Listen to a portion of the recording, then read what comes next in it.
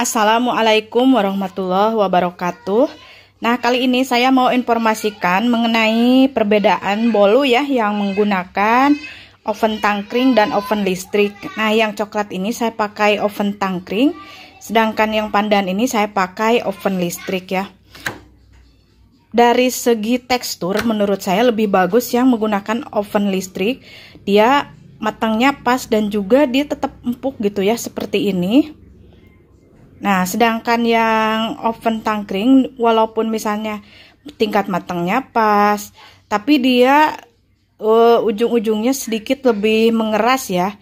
Dan juga ini yang perbedaan yang kedua dari lapis lapisan atasnya ya karena untuk yang oven listrik dia tidak cepat basah gitu ya jadi tidak cepat lembab karena memang kering karena ada api atasnya. Sedangkan yang open tangkring walaupun misalnya dia kering juga tapi dia keringnya tuh beda gitu ya kering banget dan juga nanti lama-lama dia lembab dan lengket. Makanya e, solusinya jangan khawatir. Jadi saya biasanya alasnya saya kasih margarin gitu ya Nah, tapi lama-lama lembab, jadi jangan heran yang menggunakan oven tangkring.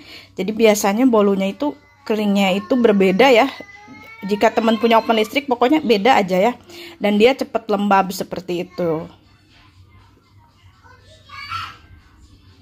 Ini sengaja saya bikin dua karena memang sedikit bahannya berbeda seperti itu ya. Jadi namun menggunakan cetakan yang sama jadi seperti disatukan ya.